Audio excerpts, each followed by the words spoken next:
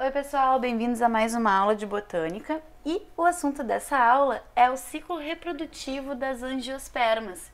Mas não assistam esse vídeo sem antes ter assistido o vídeo da formação dos uh, esporos, né? Que é o vídeo anterior, que a gente viu como é que funcionava o gineceu e como é que funcionava o androceu, tá? São cumulativos. Então, olha só, aqui eu fiz um monte de desenhozinhos para tentar te explicar como é que as plantas se reproduzem, tá? No caso das angiospermas. Gente, vou começar por aqui. Vou começar pela flor, que foi do, de onde a gente partiu em um primeiro momento, né? E aí eu peguei essa flor e dividi a estrutura masculina, né, o androceu, do gineceu. Tá, vamos ver primeiro o que, que acontece ali na estrutura reprodutiva masculina, rapidinho, só pra gente lembrar. Lá nos estames, tá, que são essas coisas marronzinhas que eu tentei representar aqui pra vocês, a gente tem as anteras, dentro das anteras a gente tem o saco polínico, que é onde a gente forma o grão de pólen. O grão de pólen, pessoal, é resultado do desenvolvimento de um esporo, certo? Então, o esporo masculino, que a gente chama de microesporo ou androesporo, tá? Ele vai ser formado por um tegumento, tá? Uma estrutura uh, de proteção. E lá dentro, pessoal, a gente vai ter o gametófito, tá? Então, o gametófito vai ser formado por duas células. A célula vegetativa, ou célula do tubo, e a célula generativa, que é o que vai dar origem aos gametas masculinos, que a gente pode também chamar mais tarde de células espermáticas, tá? Isso aqui vai ser o gametófito masculino. Agora, na parte feminina da flor, a gente tem aqui o gineceu evidenciado em amarelinho. Aí eu faço um corte aqui no ovário dela e te mostro que lá dentro a gente tem óvulos. Tá? Óvulos são formados pelo conjunto do tegumento e do esporângio feminino. Aí, pessoal, o que, que vai acontecer aqui? O esporângio tem que formar esporos. Lembra que a gente conversou? Três esporos degeneram, né? Lembra que ele foi formado por meiose. Um deles é o esporo funcional, e é esse esporo que vai dar origem ao gametófito feminino, formado por oito células: as antípodas, os núcleos polares, as células sinérgides e aqui na beirinha da micrópila a gente vai ter o gameta feminino, que vai ser a oosfera. Eu, eu falei para vocês no vídeo anterior que eu gostaria que vocês memorizassem pelo menos esses, do, esses dois nomes aqui, núcleos polares e oosfera, porque eles participam de um fenômeno muito especial chamado dupla fecundação, que é o que a gente vai ver a seguir.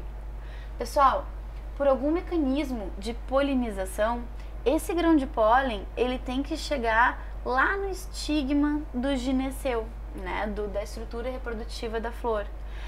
Uma vez que o grão de pólen chegou no estigma e houve o reconhecimento do grão de pólen, quer dizer, a, a parte feminina da flor ela percebeu que esse pólen é da mesma espécie, né, que, que ela, uh, a célula vegetativa ela inicia o desenvolvimento do tubo polínico para carregar os gametas femininos em direção à oosfera, que está ali dentro do saco embrionário, do gametófito feminino. Mas, enquanto a célula vegetativa desenvolve o tubo polínico, a célula generativa faz uma mitose.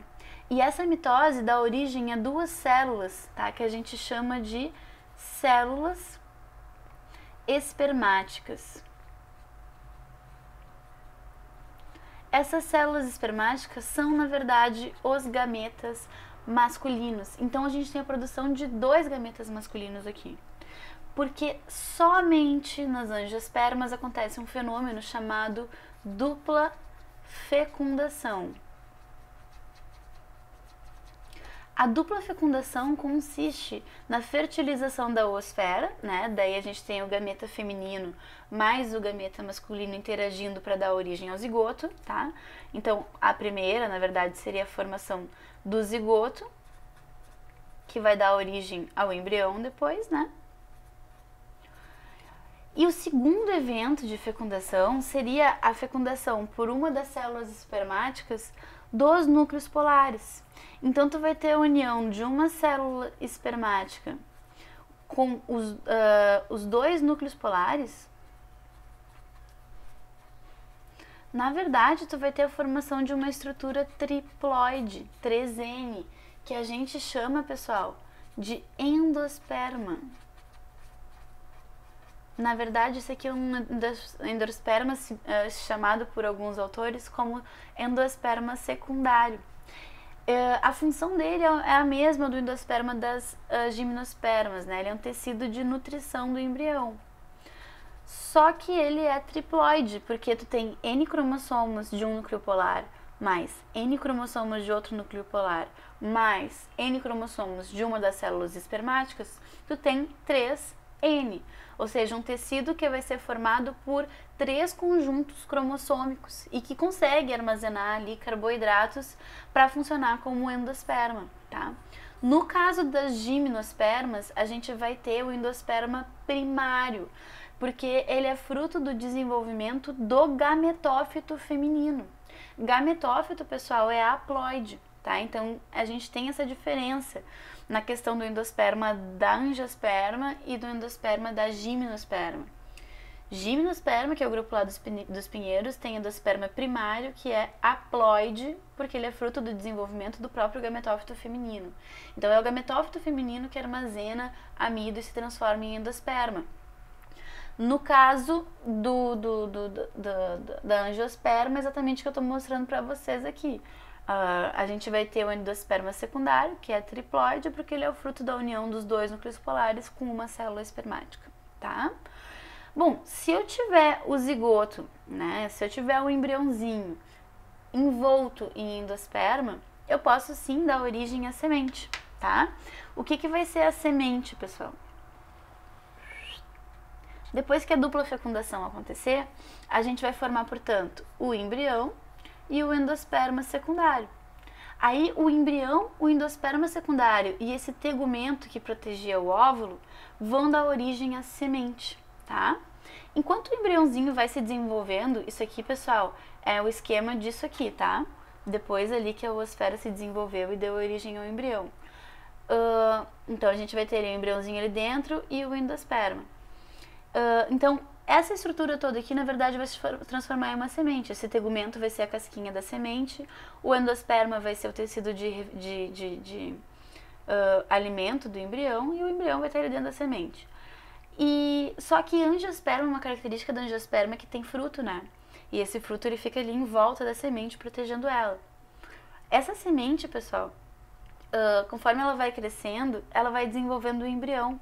E o embrião, conforme se desenvolve, ele libera hormônios que promovem o espessamento, né, o desenvolvimento da parede do ovário.